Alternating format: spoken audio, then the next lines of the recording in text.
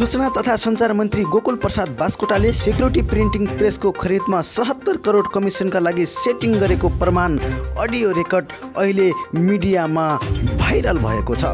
एक स्विस कम्पनीको नेपाली एजेन्टसँग मन्त्री बास्कोटाले आफूले पाउने कमिसनका लागि सेटिङ गरेको अडियो हाम्रा कुराले प्राप्त गरेको हो। स्विस कम्पनीको स्थानीय एजेन्ट विजय प्रकाश मिश्र शर्मासँगको कुराकानीका क्रममा मन्त्री बास्कोटाले कुन ट्र्याकबाट कमिसन बढी निकाल्ने सम्मको सल्लाह गरेका छन्।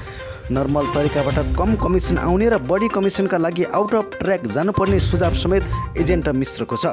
सहत्तरदेखि पचहत्तर करोड कमिसन आउँदा त्यसको सहत्तर प्रतिशत कमिसन मन्त्रीलाई दिने प्रस्ताव सुनेपछि त्यो भनेको कति भनेर सोध्ने मन्त्री बास्कोटालाई उनले पचपन्न करोड जति कमिसन हुने प्रश्न पारेका थिए।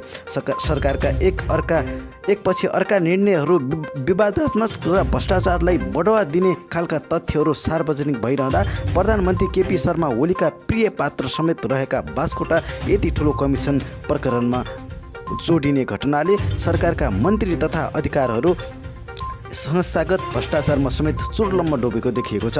प्रधानमन्त्री ओलीले आफू भ्रष्टाचार गर्दिन र गर्न पनि दिन्न भनेर सरकारको नेतृत्व लिएदेखि त्यसलाई गिज्याउने गरी घटनाहरू सार्वजनिक भइरहेका छन्। यो प्रकरणमा प्रा प्रधानमन्त्री ओलीले मन्त्री बास्कोटालाई अन्य प्रकरणमा आफ्ना प्रियहरूलाई दिएको चाहिँ उन्मुक्ति दिन्छन् कि कारबाहीको दायरामा ल्याउँछन् त्यो भन्ने हेर्न बाँकी छ। यिनै एजेन्ट मिश्र सार्वजनिक लेखा समितिले बोलाएको छलफलमा समेत विज्ञको रूपमा छलफलमा सहभागी भएका थिए। उनलाई मन्त्रीले सत्ताइस अर्बको लागत लाग्ने देखिए देखिए त्यसलाई अठाइस अर्ब बनाउन सुझाव दिए। थप एक एक अर्ब समेत भ्रष्टाचार गर्न पनि सिकाएको अडियोमा सुनिन्छ।